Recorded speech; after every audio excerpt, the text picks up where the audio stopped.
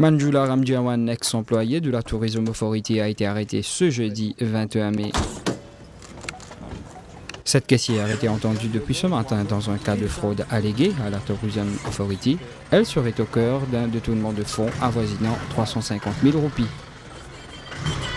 Attention Olivier, attention Olivier. Ouais, ouais, attention. la la main du bon. Une minute. Allez, un selfie.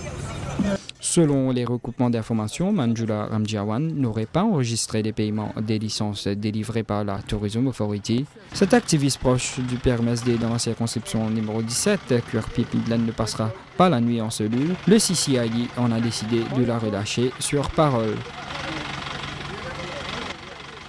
Elle comparaîtra demain, vendredi 22 mai, devant le tribunal de Port-Louis, où une accusation provisoire d'embezzlement by person in receipt of wages sera logée contre elle.